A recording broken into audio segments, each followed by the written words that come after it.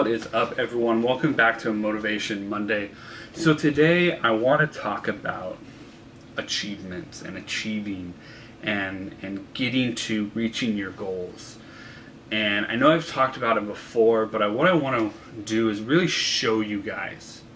Um, one of the things I've been working on tirelessly over the last three months, um, I, I purchased um, this the set of courses a while ago um, to set out on training to be a life coach, training to be an NLP practitioner, and you know combining the two to help people and give them direction and purpose and help them with things in their life. And a lot of these YouTube videos are part of that.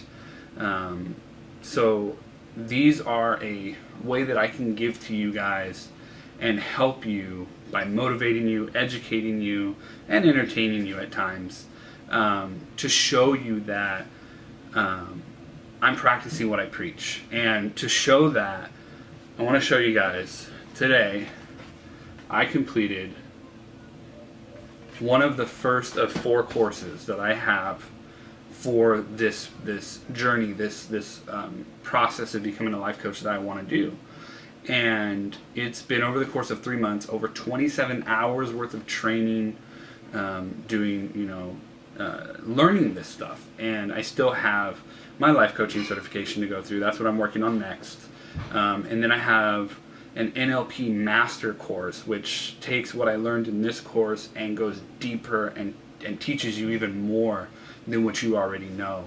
Um, and then I have another course of NLP principles for influencing management and leadership to really uh, utilize a lot of those tools and focus them on those types of things. So by the time I'm done, I'll have over 100 plus hours worth of training and experience with this stuff.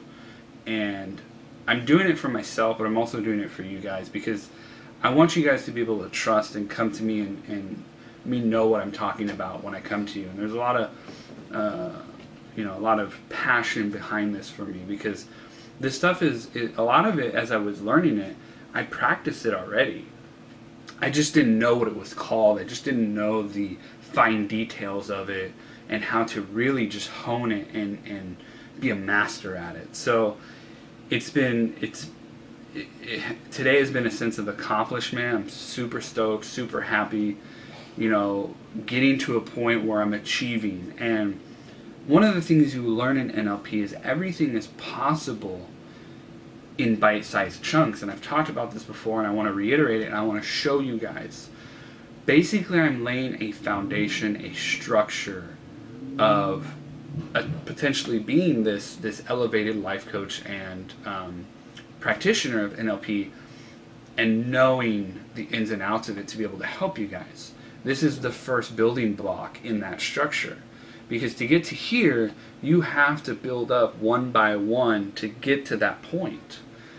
And it, it, it's just not going to happen overnight. This is a this is a perfect example of it not happening overnight. You know, uh, it took me three months, over 27 hours, to to get something a recognition and showing me that hey, you have learned this stuff. You can teach others. You can show others and help them learn and be uh, more efficient in the way they live and the way they do things. So, you know, now I'm starting step two to this this journey to the top, and it will be my life coaching. Then after that, step three, step four, step five. And along the way, you have little tiny steps of, of little victories of things. But you have to put in the work. You have to put in the time. It just doesn't come overnight. And I think this really showcases that. It shows the amount of work and the effort and time I've been putting into these things. And just like, um, you know, I, I have uh, another little ladder of this this pitch competition coming up, and the goal is to win. But I got to start here with executing a business plan, then executing, um, you know, working on the pitch, executing research, executing this and eventually, you know, executing the application. And if they accept me, then showing up to the event and executing the pitch to where they love me enough to where they vote for me to win it. So it's it's it's not just I say, hey, I want to do this, and then I show up and then I win. No, there, there's steps to it.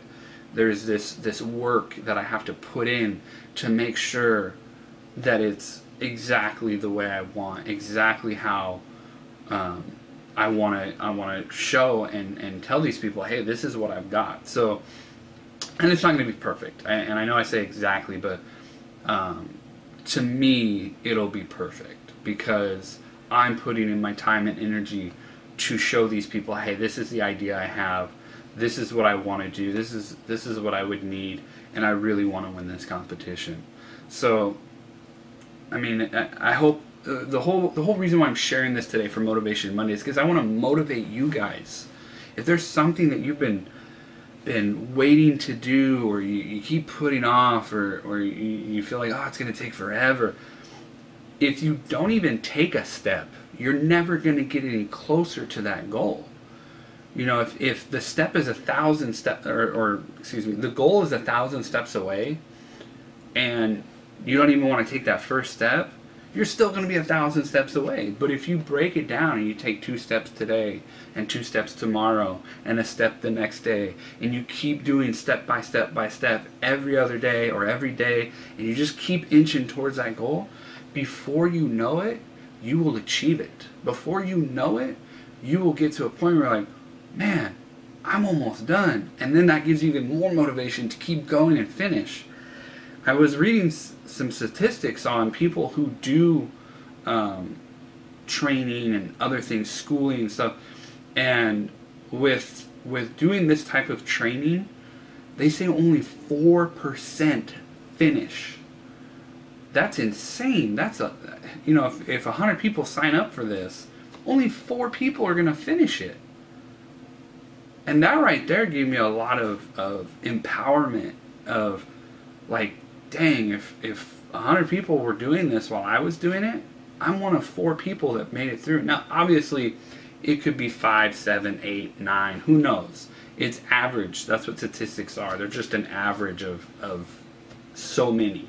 So, but still just that knowledge of like uh, me completing something that a lot of people don't do is empowering. It gives me a lot more motivation to keep going on to the next one and the next one. And as i complete each one it keeps moving me forward. So it, it, you know it, that's the self motivation of you know getting this completing you know completing this stuff and getting it moving forward. So i I hope that you guys got something out of this. I hope it maybe motivated you to look at this and go, wow, he's taking steps forward. Why can't I? You know, that's that's what I want for everyone. You know, find something that that you have a purpose for, that you have motivation for, and go get it. You know, if you want to be a successful photographer, you want to learn photography. Just because you suck with a camera doesn't mean you can't learn it everyone has the ability to learn things.